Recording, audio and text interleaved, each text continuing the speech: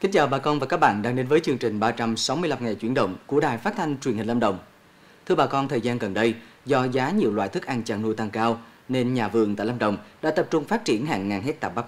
Những tuần gần đây, do ảnh hưởng của hình thái thời tiết thay đổi thất thường, nhiều diện tích bắp trong tỉnh bị các loại sâu bệnh gây hại, như là đối tượng sâu keo mùa thu.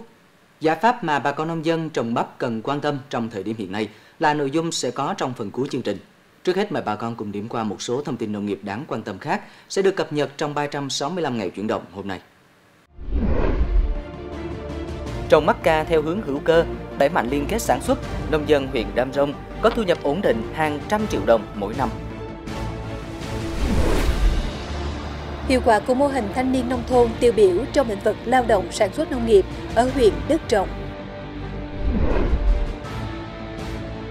Hạn chế dùng hóa chất, giải pháp canh tác nông nghiệp bền vững đang được Đắk Nông đẩy mạnh.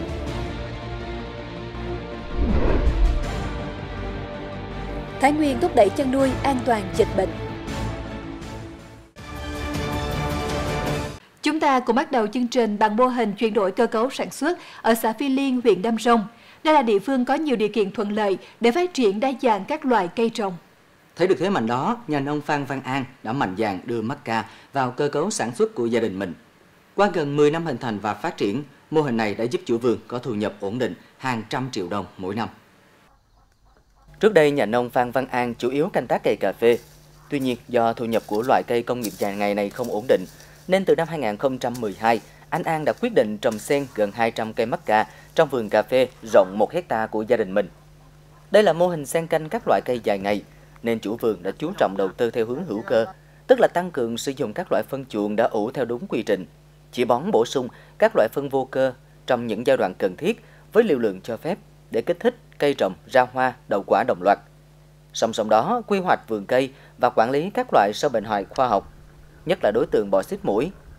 Khi vườn cây đã dần dần đi vào ổn định, nhà nông Phan Văn An đã chuyển hẳn sang trồng mắc ca thuần, nhằm thuận tiện cho việc liên kết bao tiêu nông sản. Với quy trình chăm sóc ngày càng hoàn thiện, vườn mắc ca của gia đình anh An sinh trưởng và phát triển đảm bảo, cho thu hoạch mỗi năm hai đợt, năng suất bình quân 7 tấn hạt đã tách vỏ một hecta. Hiện anh An là một trong những vệ tinh cung cấp mắc ca nguyên liệu cho một hợp tác xã ở địa phương. Hướng sản xuất liên kết đó đã mang về thu nhập hàng trăm triệu đồng mỗi năm, tăng gấp nhiều lần so với trồng cà phê trước đây. Lâm Đồng là một trong những địa phương có nhiều vùng có điều kiện khí hậu đặc thù phù hợp cho sự sinh trưởng và phát triển của cây mắc ca. Bởi vậy không à, chỉ có tại huyện Đam Rông mà tại nhiều địa phương khác trong tỉnh, việc xen canh cây mắc ca trong vườn cà phê hoặc chuyển sang đầu tư trồng thuần mắc ca là giải pháp canh tác tương đối phổ biến. Để loài cây dài ngày này phát triển bền vững, bên cạnh việc đưa vào trồng nhiều giống mắc ca ghép và khuyến cáo nông dân quy trình đầu tư, chăm sóc khoa học, tỉnh Lâm Đồng đang triển khai kế hoạch phát triển mắc ca bền vững giai đoạn 2022-2030, ưu tiên các hình thức liên kết để tham gia chuỗi giá trị toàn cầu.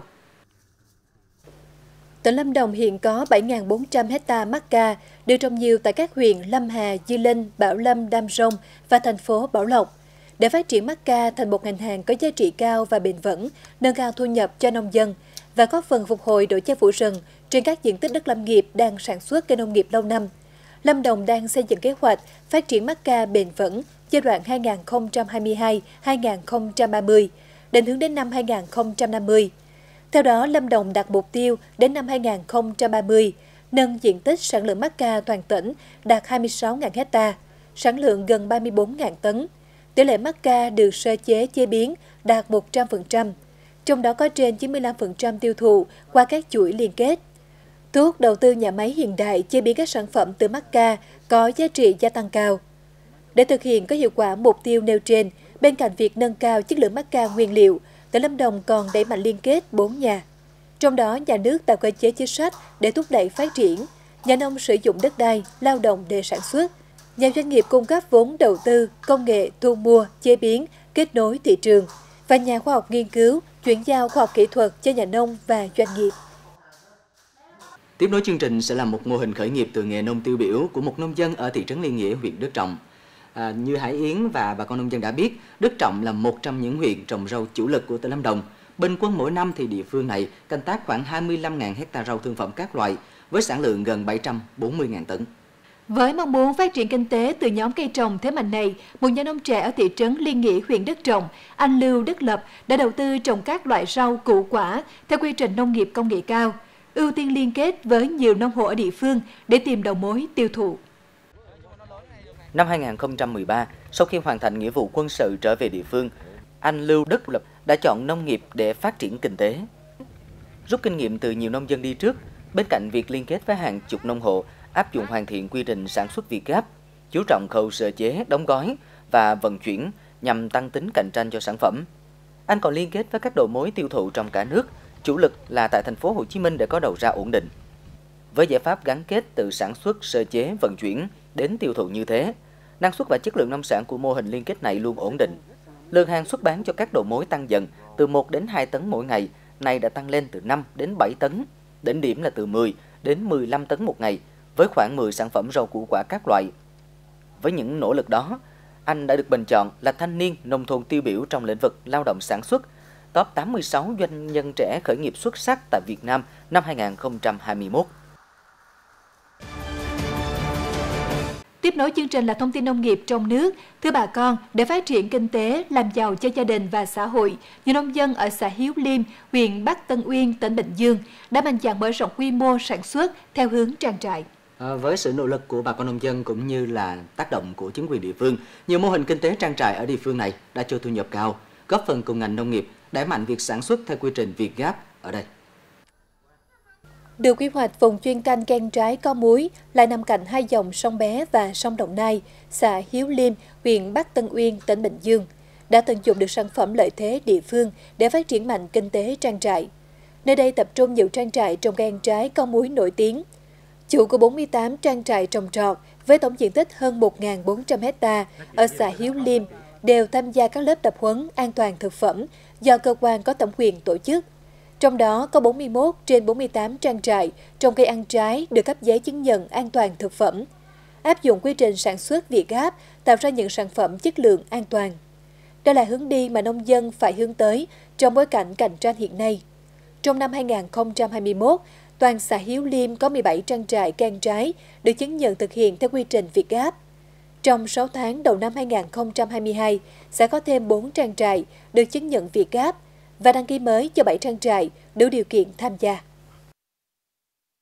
Rõ ràng để nâng cao chất lượng nông sản, một trong những vấn đề then chốt mà nhà nông cần quan tâm là tăng cường áp dụng những quy trình canh tác tiên tiến, nông nghiệp sạch vào sản xuất.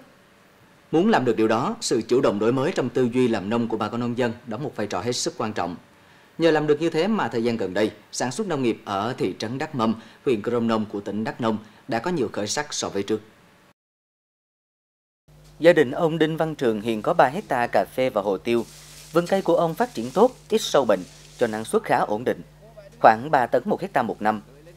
Để nâng cao chất lượng nông sản, gia đình ông Trường đã hoàn toàn không dùng thuốc diệt cỏ, hóa chất, bảo vệ thực vật có nguồn gốc hóa học. Hiệu quả của hướng canh tác bền vững nói trên đã thể hiện rõ nét, nên những năm gần đây, ngày càng có nhiều nông hộ và chủ trang trại doanh nghiệp ở tỉnh Đắk Nông sản xuất nông nghiệp không sử dụng hóa chất. Trên nhiều vùng sản xuất, hệ sinh thái dần cân bằng, các vi sinh vật có ích được bảo vệ. Nhờ đó mà số cơ sở thực hành và đặt chứng nhận sản xuất tốt, sản xuất nông nghiệp hữu cơ ngày càng gia tăng. Đến nay, trên địa bàn tỉnh Đắk Nông đã có 189 tổ chức cá nhân được chứng nhận sản xuất theo các quy trình nông nghiệp tốt, với trên 26.000 hectare tăng 38 cơ sở và trên 4.600 hecta so với năm 2020. Ngành nông nghiệp đang tiếp tục đẩy mạnh các hình thức tuyên truyền vận động, tập huấn về canh tác an toàn với môi trường, nâng cao chất lượng sản phẩm nông nghiệp. Chuyển sang lĩnh vực chăn nuôi. Thưa bà con, trước nguy cơ dịch bệnh bùng phát trên đàn gia súc gia cầm, việc xây dựng cơ sở chăn nuôi an toàn dịch bệnh trở nên rất cần thiết. Đây cũng là vấn đề được thành phố Sông Công, tỉnh Thái Nguyên chú trọng đẩy mạnh nhằm kiểm soát dịch bệnh, tạo ra sản phẩm đảm bảo an toàn vệ sinh thực phẩm, thúc đẩy ngành chăn nuôi của địa phương phát triển bền vững. Để phát triển chăn nuôi an toàn dịch bệnh, thành phố Sông Công, tỉnh Thái Nguyên đã đẩy mạnh tuyên truyền, vận động và hướng dẫn người dân chuyển từ hình thức chăn nuôi nhỏ lẻ, phân tán sang quy mô trang trại tập trung, áp dụng các biện pháp an toàn sinh học. Hàng năm, công tác tiêm phòng cũng được quan tâm.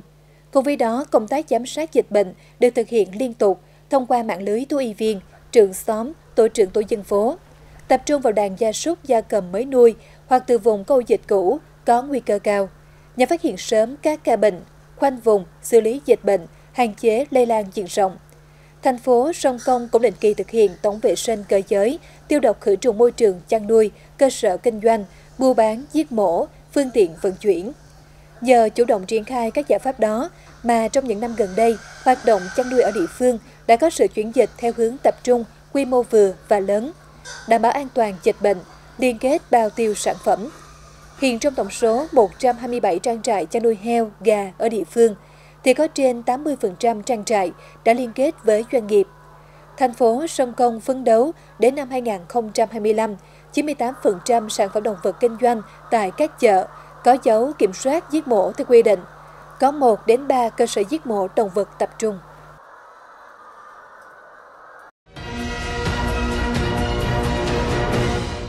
Thưa bà con và các bạn, sâu keo mùa thu hiện là một trong những đối tượng gây hại phổ biến trên cây bắp ở Lâm Đồng nói riêng và cả nước nói chung.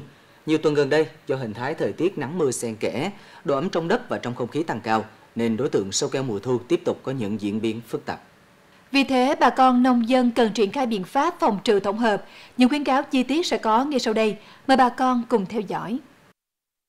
Vụ hè thu năm nay, toàn tỉnh Lâm Đồng có gần 3.000 hecta bắp. Diện tích nói trên được trồng tập trung tại các huyện Đơn Dương, Đức Trọng và Lạc Dương. Khác với nhiều địa phương trong cả nước, nông dân Lâm Đồng trồng bắp quanh năm. Ngoài những diện tích bắp lấy trái, thì nhiều nông hộ trồng bắp phục vụ nhu cầu chăn nuôi, nhất là chăn nuôi bò sữa ở địa phương. Đặc biệt trong những tháng gần đây, Do giá nhiều loại thức ăn chăn nuôi tăng cao, nên bà con nông dân Lâm Đồng chú trọng đến việc trồng sen cây bắp tại những khu vực phù hợp để vừa có thu nhập, vừa thực hiện có hiệu quả giải pháp luân canh cây trồng. Đáng lưu ý là những tuần gần đây, do ảnh hưởng của thời tiết nắng mưa xen kẽ, nhiều đối tượng gây hại cây bắp, chủ yếu là sâu keo mùa thu và sâu cắn lá, diễn biến phức tạp. Chỉ tính trong tuần qua, tại các huyện Lạc Dương, Đơn Dương, Đức Trọng, gần 120 hecta bắp bị sâu keo mùa thu gây hại, làm ảnh hưởng đến năng suất và chất lượng nông sản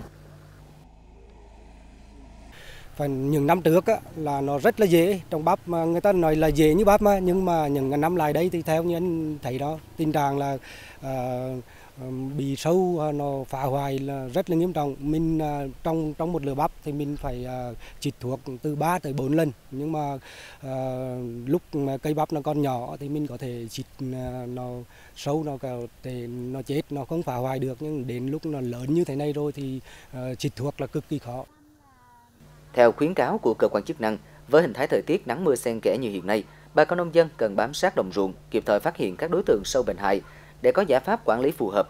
Nhất là đối tượng sâu keo mùa thu, bà con cần áp dụng giải pháp tổng hợp như làm sạch cỏ dài xung quanh vườn trồng bắp để hạn chế nơi trú ẩn của sâu, làm đất phơi đất khô để ấu trùng nhộng trong đất chết hoặc dễ dàng bị thiên địch tiêu diệt. Thường xuyên kiểm tra đồng ruộng, đặc biệt là ở giai đoạn bắp từ 3 đến 6 lá để phát triển ổ trứng ngắt, tiêu hủy. Bà con nông dân có thể sử dụng thuốc bảo vệ thực vật, phun khi sâu có tuổi nhỏ và cần tuân thủ theo nguyên tắc 4 đúng, đúng thuốc, đúng lúc, đúng nồng độ liều lượng và đúng cách. Chúng ta phải thường xuyên theo dõi từ cái lúc mà trồng. Nếu mà cây ờ, trên cái vườn mà có xuất hiện sâu keo ở mật độ thấp ấy, ví dụ như khoảng 1 2 con trong một cây ấy, thì chúng ta có thể sử dụng những cái nhóm thuốc mà uh, sinh học uh, ví dụ như Bacillus ừ, thuringiensis những cái nhóm đấy thì hiệu quả nó không cao bằng thuốc hóa học trung bình thì ví dụ khoảng 60 70% là hiệu lực là uh, đối với thuốc sinh học thì chúng ta phun với cái điều kiện mà mật độ thấp. Thế còn trường hợp mà uh, khi mà mật độ trên vườn nó khoảng chừng uh, trên 4 từ 4 con trở lên tỷ lệ cây mà bị hại khoảng 20% là chúng ta phải sử dụng đến thuốc hóa học. Bắp là loài thức ăn không thể thiếu trong chăn nuôi, nhất là chăn nuôi bò sữa. Vì thế, việc đầu tư, chăm sóc và quản lý sâu bệnh hại cây bắp cần phải được chú trọng ngay từ khi xuống giống. Như thế thì cây bắp mới cho năng suất và chất lượng như mong muốn. Những khuyến cáo về giải pháp đầu tư chăm sóc cây bắp vừa rồi cũng đã khép lại chương trình 365 ngày chuyển động hôm nay tại đây. Bà con và các bạn quan tâm muốn đóng góp chia sẻ thông tin, vui lòng gửi email về chương trình tại địa chỉ 365 ngày chuyển động ltv a.gmail.com hoặc gọi điện thoại về số 02633 829 930. Xin cảm ơn sự quan tâm theo dõi của bà con và các bạn. Thân ái, chào tạm biệt.